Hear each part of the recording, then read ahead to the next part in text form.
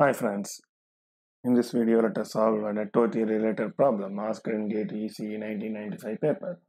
The question is the value of resistance R connected across the terminals A and B, refer figure, which will absorb the maximum power is 4 kilo ohm, 4.11 kilo ohm, 8 kilo ohm, 9 kilo ohm. So they are given. So they ask what is the value of R? This is the R which is connected across A and B, right, to absorb maximum power. So we know that whenever you want to find uh, to find R which absorbs maximum power, what we have to do? The resistance value which absorbs maximum power is nothing but R Thevenin. So we have to find R Thevenin. So in order to find R Thevenin, what I have to do? I have to remove this resistor. If there is any source, voltage source means short it, current source means open it. So this is a voltage source. So short it. This is the resistor. We have to remove it. Okay. So the circuit will be like this. This I short voltage source must be shorted, right?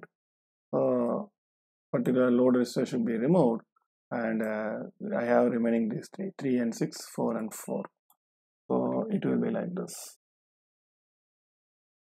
3 3 and 6 here it will be 4 ohm. This is 4 ohm. Is it okay? So uh, which is nothing but 3 and 6 are it is like a 3 and 6 are in parallel connection. Fine. So 3 and 6 are in parallel with you see this end is connected here. These two ends are connected. Similarly 4 and 4 are connected.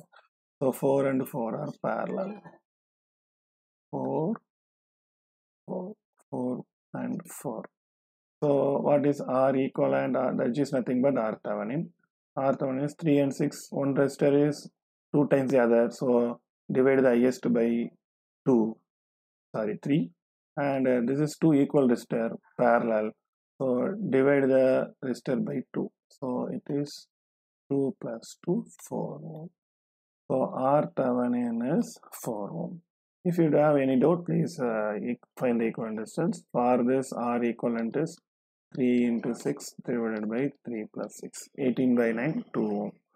Here r equivalent is 4 into 4 divided by 4 plus 4 it is also 2 ohm.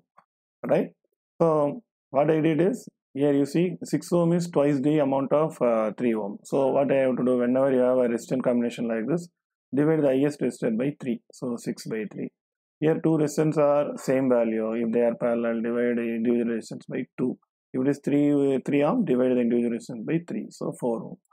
So the answer is the value of R should be equal to 4 ohm. Option A is the right answer. Thank you.